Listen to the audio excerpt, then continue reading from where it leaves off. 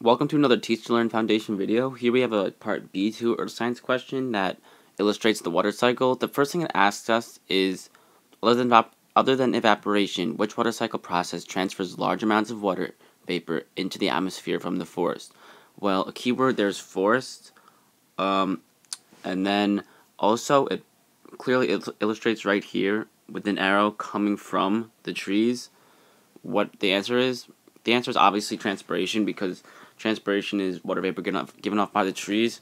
There's many hints that give that away. Another question is describe one surface condition change at location A that would decrease the rate of runoff. Location A is right here, and as we can see, it's mountainous and it's a slope going down. So the easiest answer would just be to say a decrease in slope because obviously it's common sense that a flatter land will water just won't move as well on flatter land opposed to slopey land. And the next one, number 55, how many joules of heat energy are released by each gram of water vapor that condenses to form cloud droplets? That one, you're going to have to look in your Earth Science reference table, and the answer is going to come out to be 2,260 joules.